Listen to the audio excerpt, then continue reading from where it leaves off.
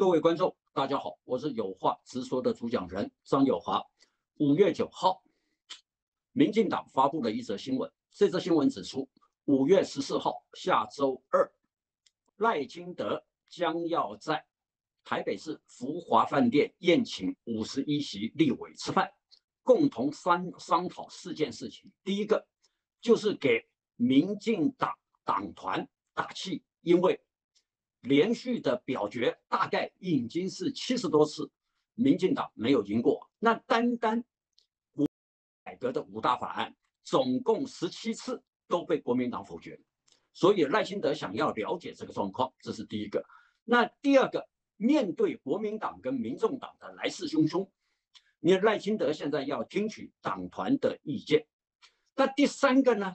赖清德在五月二十四号可能去立院。进行报告，做到韩国瑜的左手边。那他想听听民进党的党籍立委的意见，究竟是统问统答，还是一问一答，还是统包答复，还是综合性的答复？他要听听这一方面的意见。这是第三个。那第四个，赖清德也要理解执政党跟在野党派他们争执的原因何在。是否会顺道处理柯建明的问题？要到五月十四号的这一天就可以见分晓。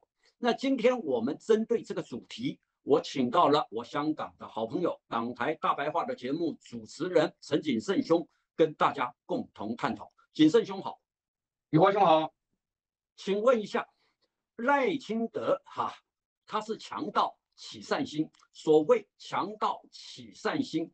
就是说，一个强盗，一个那么霸道的人，突然会身段柔软的说：“我要帮你解决问题。”这个当然会引引起大家的疑虑。我想请问景胜兄，五月十四号这一天的请客，跟十天后赖清德要到立院报告，是不是息息相关？景胜兄，对啊，这个赖清德啊，原来。这个被大家啊，这个这个你刚才也讲了，以为是一个强盗啊，这个非常的强悍。那实际上呢，他那时候啊，就是还没有坐上那个呃第一把交椅的时候啊，没有担任这个地区领导人的时候呢，确实啊，他是啊身段呢就比较强硬。那如果说他要坐上这个位置以后啊，我觉得啊身段必须要放软一点啊。而且呢，这个民进党现在和国民党在这个立法机构。啊，这个斗来斗去啊，民进党这个已经十五次的以这个动议都遭到了否决，这个吃了十五次败仗。那么这个尤其再加上柯建明最近的一个失言风波啊，所以呢，这个赖清德呢，呃，现在啊，这个要宴请一下这个五十一位啊，民进党的这个民意代表呢，确实啊，他这样的做呢，也是啊，这个对于来他来讲是非常这个及时，也是有必要的啊，有兄。当然，就我所知，你看赖清德他原先对于宴请所谓五十一席立委，他感到犹豫。但是这个中间，无论是吴思瑶，无论是庄瑞雄，还有无论是柯建明，都希望你看赖清德能够出面，因为民进党有五六位哈，五六位党籍立委是从来不听总召的宣召，所以会发生什么跑票啦？投错票了，还有故意不到了，然后甲级动员要投票前突然不见呢，就有这五六席，这五六席就我所知，都不是新潮流系的，都是其他派系的。那这五六席的每一个的资历，都比新潮流的部分立委还要来得高。在这种情况之下，既然指挥不动，那只好请党主席出面，看看能不能劝劝他们。那第二个，吴思瑶也认为，现在民进党正在面临所谓的决战阶段，因为他们认为陈建仁内阁最多是个热身赛，到了陈建仁下台那一天，赖清德上台，然后卓荣泰又要做施政报告的那一天，可以说才是国民党跟民众党要联合起来修理民进党的主要关键。在这个时候，他们也希望。赖清德能够带着卓荣泰等人比较重要部会的首长，像要不要恢复核能啊，像医疗资源的运用啊，要不要带这一些人来？把重大的法案在这一次晚宴当中可以跟党籍立委进行简报，这是第二个。那第三个，当然他们也要问赖清德的意见，究竟要打到底，究竟要战到底，党中央的态度如何？大概就是这三个。所以我想请问景胜兄，那您认为吴思瑶所所提出的意见，赖清德会接受吗？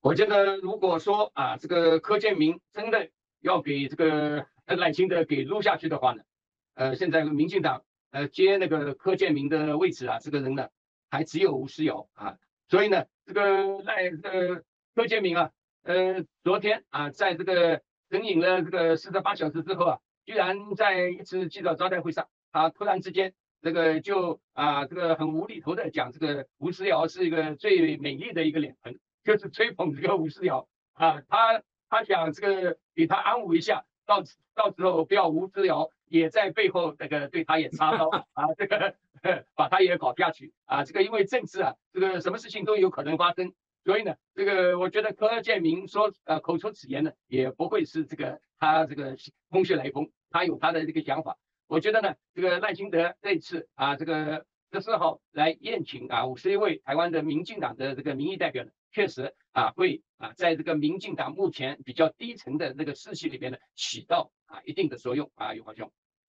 我可以告诉谨慎兄好，现在国民党也好。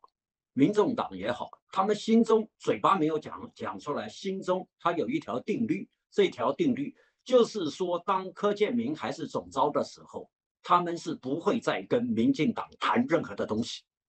那除了这个以外，更重要的就是说，民进党现在的失言风波，失言风波越演越烈，庄瑞雄也讲错话，吴思瑶也拼命的讲讲错话，那。按照国民党跟民众党的意思，是不是你民进党要不要换换总招？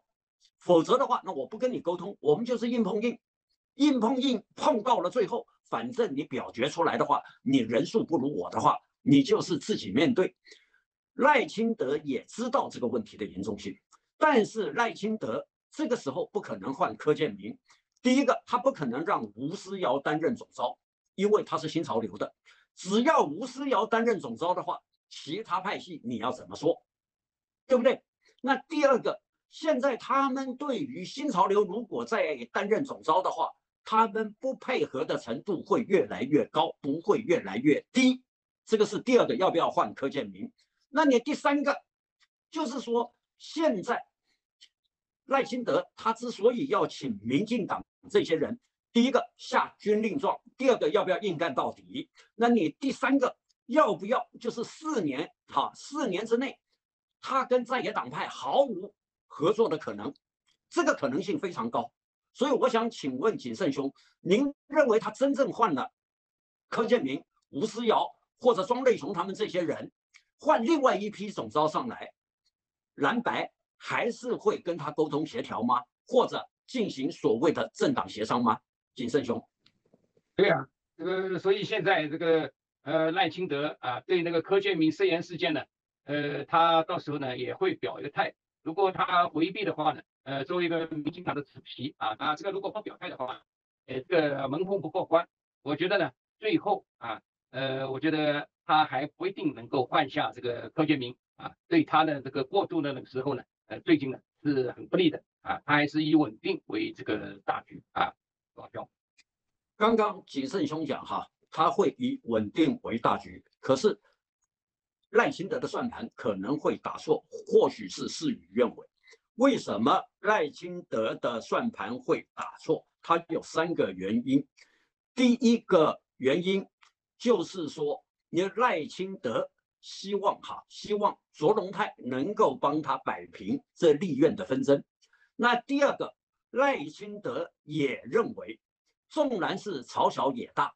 可是他的行政权不能够受到立法权的牵制。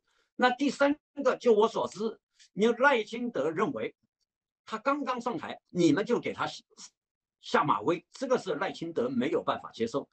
所以这个就性格决定的命运。